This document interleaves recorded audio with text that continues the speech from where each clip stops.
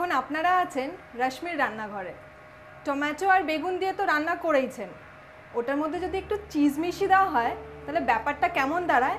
আসুন জেনে নিই আমাদের শেফ সঞ্চিতা আলমের কাছ থেকে। সঞ্চিতা দি আমার রান্নাঘরে স্বাগত জানাই। থ্যাংক ইউ রোশন আচ্ছা এটা রান্না করতে আমাদের কি কি উপকরণ লাগছে একটু বলে দাও। আমি তোমাকে দেখিয়ে দিচ্ছি।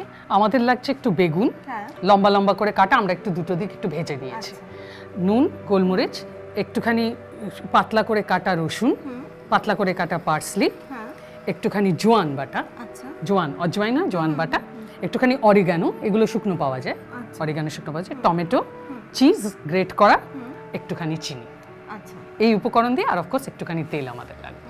কড়াইটা বসিয়ে আমাদের আমি একটুখানি এটাতে সাদা তেল ঢালবো। অলিভ অয়েলও ঢালা যায়। সাদা তেল বা কোনো olive oil light olive oil যেটা গাঢ় অলিভ অয়েল যেটা নয়। সেটা। এবার আমরা এর ভেতরে একটুখানি রসুন কুচি দিয়ে দেবো। আমি হাতা নিয়ে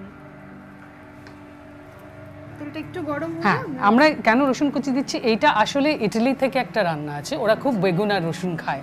এটাতে দেখবে পেঁয়াজ যাচ্ছে না। হ্যাঁ। এটাতে রসুনের গন্ধটাই তেলের ভেতর যাচ্ছে সেই তেলটাকে আমরা ইউজ করছি আসলে আচ্ছা। এর ভেতরে।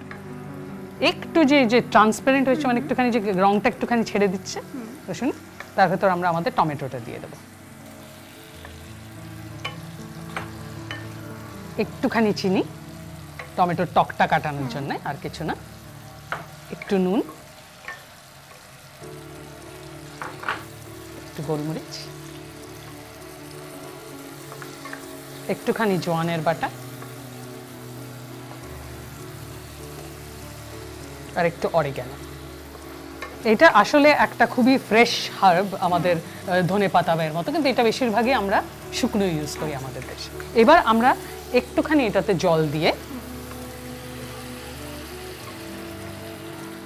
পুরো জিনিসটাকে একটু কমিয়ে নেব আঁচটা কম করে দেবো? হ্যাঁ। টমেটোগুলো কি হ্যাঁ, গলে যাবে? একটু গলে একটুখানি গাঢ় হয়ে যাবে। তো তুমি ওইটা টমেটোটা করতে করতে আমি ততক্ষণে এখানে কাজটা বাড়াই। আচ্ছা। আমরা এইটার ভেতরে বেকটা করব। আমরা আমাদের ওভেনটাকে গরম করে নিই। একশো আশি ডিগ্রি সেন্টিগ্রেড। একশো আশি ডিগ্রি সেন্টিগ্রেডে গরম করে আমাদের যে বেগুনটা আছে বেগুনের একটা লেয়ার আমরা এখানে সুন্দর করে সাজিয়ে দেব। বেকিংয়ে তুমি একটা জিনিস দেখবে বেশিরভাগ জিনিসই অন- অনেকটা রান্না করে তারপরে আভেনের ভেতর যায়। হ্যাঁ। তাই বলে কাঁচা থাকার ভয়টা কখনোই আমাদের থাকে না। আমাদের টমেটোগুলো আরেকটুখানি গাঢ় হয়ে আরেকটু রান্না এবার আমি একটুখানি পার্সলিটা এর ভেতর দিয়ে দিলাম। দুই বড় চামচ মতন। হয়ে আমাদের এটা অনেকটা গাঢ় হয়ে গেছে। এবার আমরা কি করব?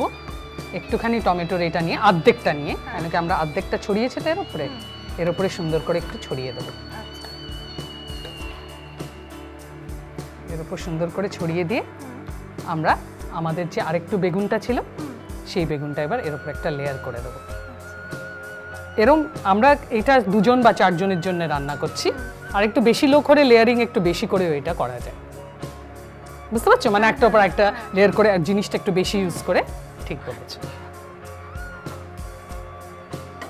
আমাদের এই লেয়ারটা দিয়ে নিলাম আমাদের টমেটো আর বেগুনের লেয়ার হয়ে গেল। এবার আমাদের কি বাকি রয়ে গেল? চিজটা বাকি রয়ে গেল। চিজটা তো আমরা দুজনে ভুটলেই পারি না। চিজটা এর ওপর ছড়িয়ে দিলাম সুন্দর করে।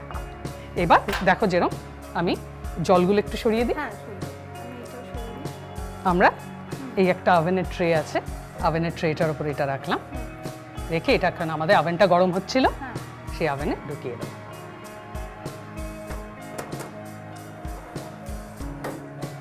ঢুকিয়ে দিয়ে এইটাকে কুড়ি মিনিট মতন আমার একটুখানি ফোটা অবধি এটাকে রান্না করব। ওপরের চিজটা পুরোটা গলে যাওয়া।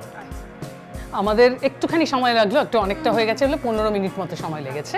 আমরা এটাকে একটু বার করে এবার দেখব। সব সময় আভেনে গ্লাভস না পরে আভেনটা ধরবে না। বাহ!